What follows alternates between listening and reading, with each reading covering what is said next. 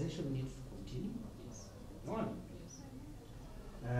Eh, hawa wenzetu naelewa kuwa grouped katika sekta hati ni watu wa bodaboda, but kuna tofauti ya wenye wanatumia pikipiki kufanya uhalifu na sisi wenye tunabeba watu tuki, kwa biashara, so hiyo ndio tofauti but, but sasa kulingana na vitengo vya usalama wa- wameweza kukabiliana na wao, sasa ndio unaona at least crime imerudi chini. Uh -huh. E, naweza sema kwanza kuna zile stages designated za sisi kusimama within maybe areas za town sana sana na hata huku nje, so ni bora sana wana tuseme members of public wajue wananchi ya kwamba kabla ya kuboda hiyo pikipiki kubebe imenibebea wapi na hata huyo mtu. Kabla akubebe tu taka kujua kama hata yeye ni mtu wa bodaboda, kwa sababu pikipiki e, katika sekta haijakuwa regulated. Hatuwezi nunua moto pikipiki yoyote ukiwa wapi, but sasa naye akikuja tuseme anafanya kazi na sisi kama ya bodaboda, kuna zile mikakati tumeweka kuhakikisha ako pamoja na sisi na anafanya kazi, ila